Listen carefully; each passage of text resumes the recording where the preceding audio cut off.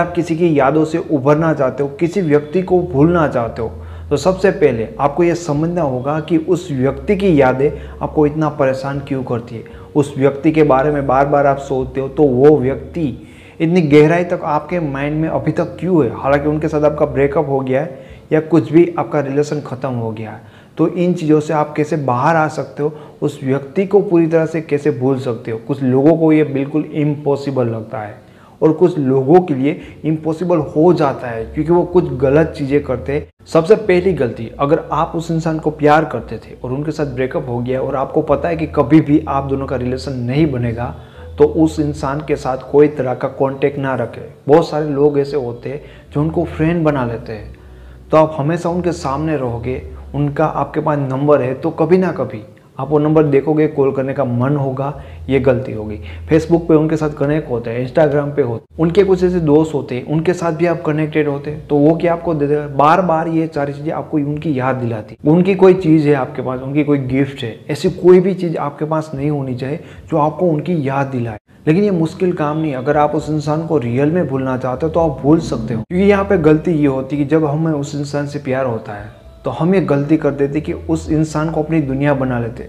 उनके इर्द गिर्द ही हमारी पूरी दुनिया चलती है। हम दूसरे लोगों से कम मिलते हैं नाता कम कर देते और सारा फोकस यहाँ पे लगा देते। और वही इंसान आपसे अलग होता है तो उनको मिस करना, ज़ाहिर बात है। क्या गलती करते हैं? जब उनका ब्रेकअप होता है, बहुत ज़्यादा परेशान होते हैं तो वो एक काम करते हैं, जो बहुत ही मूर्खता वाला है, कि अपने घर में बैठ जाते हैं और अकेले अकेले उनके बारे में सोचते रहते हैं। अब यहाँ पे क्या होता है?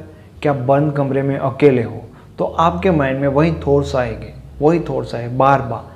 फ़र्स्ट चीज़ कि आप जो भी काम करते हो, आपका जो भी रूटीन है, उसको ब्रेक ना करें, उसको कंटिन्यू रखें। घर में अकेला बैठना, ये सबसे बकवास आइडिया है। साथ ही साथ आपको दूसरे लोगों के साथ बातचीत करना अच्छा नहीं लगता। आप लोगों के साथ बाहर नहीं जा रहे हो।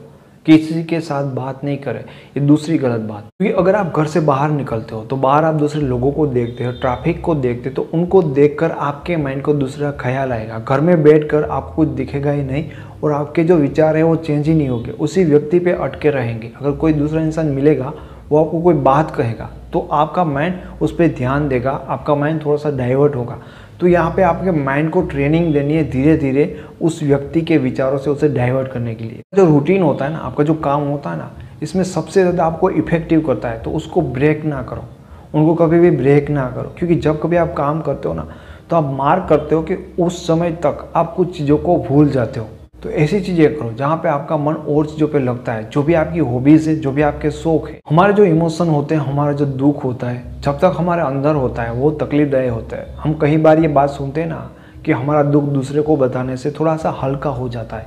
तो कोई ऐसा इंसान जिसके ऊपर आपको बहुत ज़्यादा ट्रस्ट है, बहुत ही आपसे क्लोज है, उस इंसान के साथ आप अपनी परेशानी, अपना दुख बांट सकते हो। क्योंकि हंड्रेड परसेंट श्योर है कि आपका दुख किसी को बताने से हल्का होता है। किसी को भूलने के लिए सबसे तीन इंपॉर्टेंट चीज़ है जो मैं आज आपको बताना जा रहा हूँ। पहली है ट्रैवलिंग दूसरी है जिम और तीसरी है रीडिंग तीनों ही आपको बहुत ज़्यादा हेल्प करेगी। लेकिन ऐसी सिचुएशन में, ऐसी परेशानी में किसी भी इंसान को ना ट्रैवलिंग करना अच्छा लगता है, ना जिम जाना अच्छा लगता है, ना रीडिंग करना अच्छा लगता है। लेकिन आपको रीडिंग से स्टार्ट करना होगा, उसके बाद ट्रैवलिंग और उसके बाद आपको जिम स्टार्ट करना होगा। बहुत ही ज़्यादा इफ़ेक्टिव है तीनों चीज़ें, क्योंकि आप बाहर जाते हो तो नए लोगों को देखते, नई जगह को देखते, ये आपके माइंड को नए नए आइडियाज़ देते हैं, आपको नए लोगों से मिलवाते हैं। तो आपके जो बुरे एक्सपीरियंस है ना जल्दी से बाहर निकलोगे। रीडिंग आपको स्ट्रॉन्ग बनाएगी मेंटली भी और इमोशनली भी। और जिम से आपकी बॉडी में तो जो चेंजेस होने ही होने हैं, लेकिन आपकी बॉडी में चेंजेस होने हैं, उसके कारण आपको यहाँ पे सपोर्ट मिलेगा, वो मेंटली सपोर्ट भी मिलता है। इंसान के साथ आपको बुरा एक्सपीरियंस हुआ है। हो सकता है दोस्तों के साथ, दूसरे लोगों के साथ आपके अच्छे एक्सपीरियंस आपको इन चीज़ों में से उबारने में काफ़ी आपकी हेल्प कर सकते हैं। दोस्तों, मैं उम्मीद करता हूँ आपको वीडियो पसंद आया होगा। आपको वीडियो अच्छा लगा, इसे लाइक करें। इसके बारे में कुछ कहना चाहते हो कॉमेंट करें।